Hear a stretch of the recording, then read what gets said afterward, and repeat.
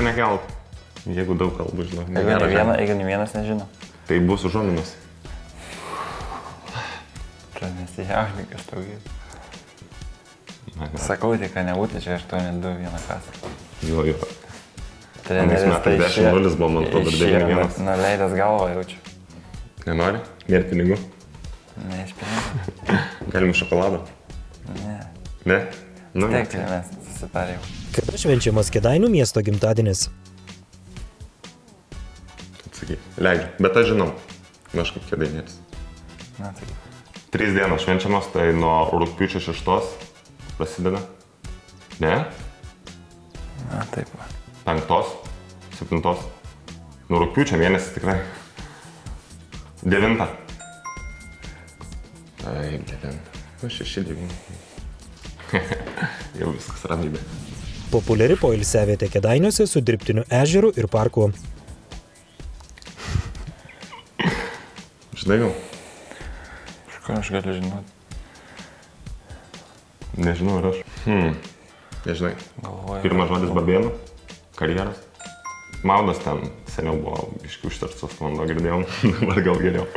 Maudas, maudas kiti. Apie šiaulius iš tokį klausimą. Vasarą Kedainiuose vykstanti šventė susijusi su šiltuoju metų laiku labai mėgstamų skanėstų. Kokia tai šventė? Tikrai žinai. Ledų šventė. Geras, geras. Su kuriuo nevėžio krepšininku 2014-2015 metų sezone kartu rungtyniavo trenerio asistentas Tomas Gaidamavičius. Cvir. Tomas Gaidam. Kymantas. Kelmelis. Ai, kumelis. Ne. Molėtas jie žaidė. Ne. Su Toniu. Matai, kaip aš taip nesigilinęs. Nešaspėjau. Kurioje šalyje praėjusiame sezone dirbo komandos treneris Paulius Juodis. Katarė. Niekur ten.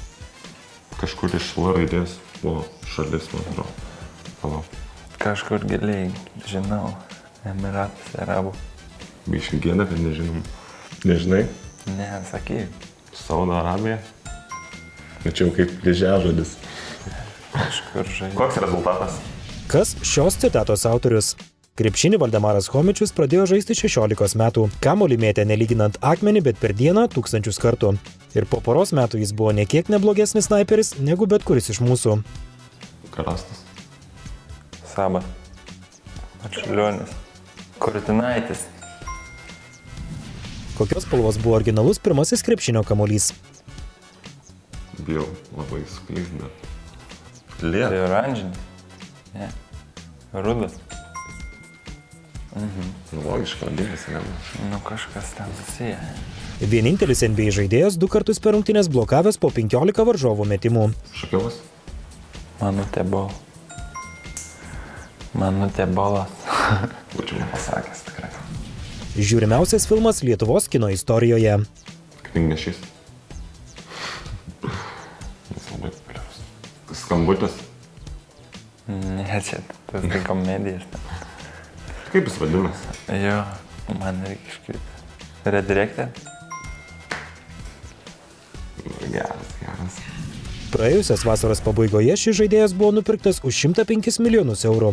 Tai buvo brangiausias perėjimas futbolo istorijoje. Kas tas sportininkas? Mesi?